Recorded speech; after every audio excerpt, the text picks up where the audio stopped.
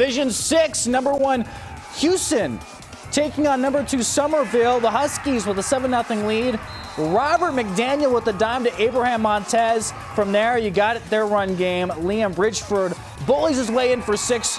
Hughson takes a 4 0 lead, 14 0 lead. Then in the fourth, 14 7 Hughson. But it's Summerville looking to make this thing a game. Braylon Lavorse under pressure, but finds Bryce Lavorse, and he's in for the touchdown. The Bears decide to go for two instead of OT. The two point conversion, though, no good. Hughson wins their first ever section title, 14 13.